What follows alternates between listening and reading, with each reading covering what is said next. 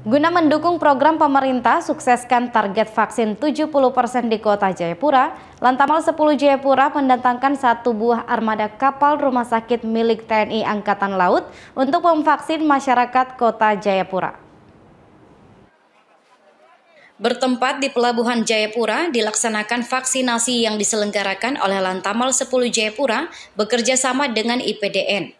Kegiatan vaksinasi ini sendiri bertujuan untuk menggenjot angka persentasi vaksinasi yang saat ini masih 53 persen.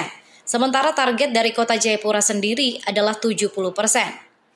Komandan Lantamal 10 Jayapura Brigjen TNI Ferianto Marpaung menyampaikan, kegiatan vaksinasi ini direncanakan akan digelar sampai tanggal 20 September mendatang. Dan khusus untuk hari ini, didatangkan banyak pelajar dari tingkat SMP untuk mendorong gemar vaksin di kalangan anak sekolah. Sehingga dari anak-anak bisa menginformasikan kepada sesama pelajar maupun kepada orang tua mereka tentang pentingnya vaksinasi untuk menjaga kesehatan dan tidak mudah terpapar virus COVID-19 target pemerintah daerah untuk mencapai 70 persen ya yang sudah tervaksinasi anggota masyarakat nanti bisa diraih, bisa didapatkan.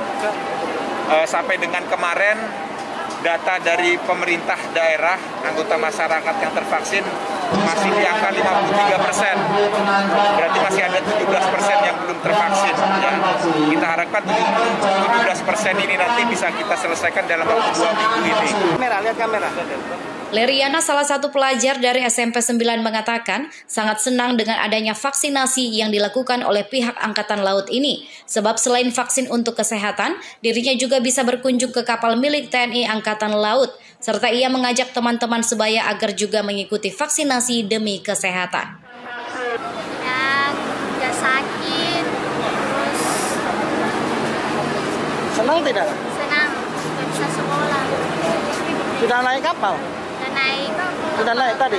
Iya udah. Sudah? Sudah. Sudah naik kapal perang? Sudah. Kapalnya bagaimana? Nah.